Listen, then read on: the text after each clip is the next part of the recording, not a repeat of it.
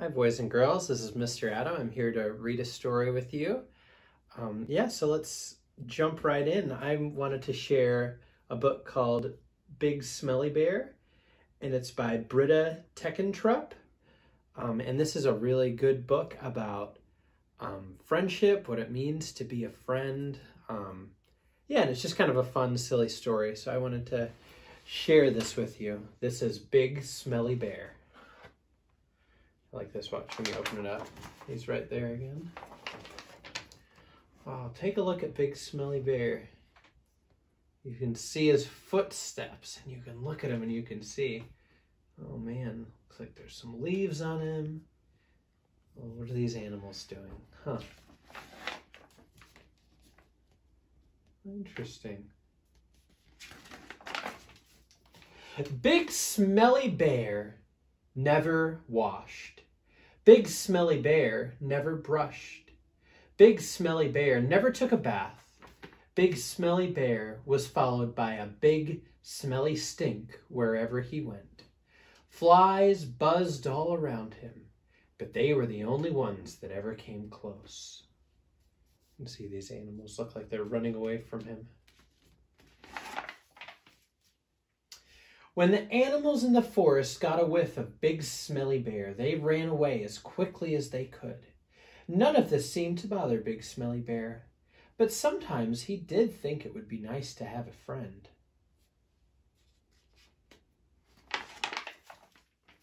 Then one morning, everything changed. Big Smelly Bear woke up with the most terrible itch. He had tried to scratch his back with his paw, but he couldn't reach.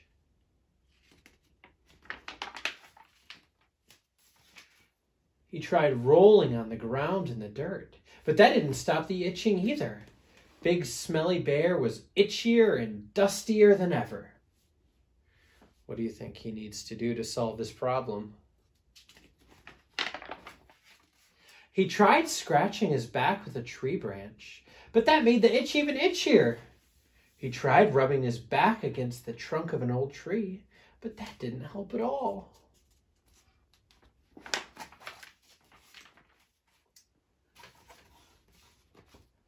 I would scratch your back for you, said a voice from above, but you are much too smelly. Big Smelly Bear looked up and saw a big fluffy bear sitting in some branches. Big Fluffy Bear smiled at Big Smelly Bear. Hmm, I wonder if Big Fluffy Bear is going to be a good friend to Big Smelly Bear. Let's find out. Why don't you take a bath? asked Big Fluffy Bear. Then you wouldn't itch or smell. Because I don't need a bath, replied Big Smelly Bear. What do you think? Does he really not need a bath?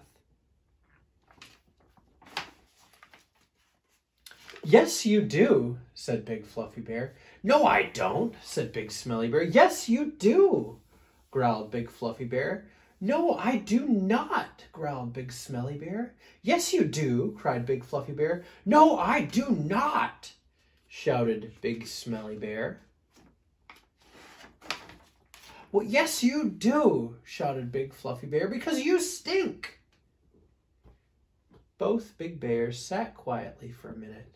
Then Big Smelly Bear sighed a big sigh. Oh, all right, he said, and he stomped off grumpily down the hill to the pond.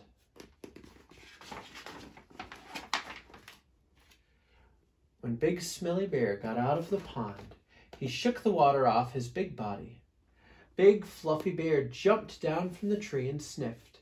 There, she said, that's much better. Now you smell all clean. And she scratched his back for him. Oh, that's nice. The itch was gone. Big Smelly Bear sighed. Oh, thank you, he said. Then he gave Big Fluffy Bear's back a little scratch, too.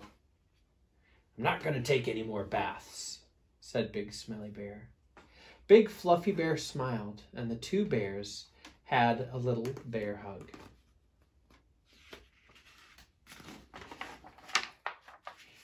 Big Smelly Bear liked Big Fluffy Bear very much, even though he said he would never bathe again.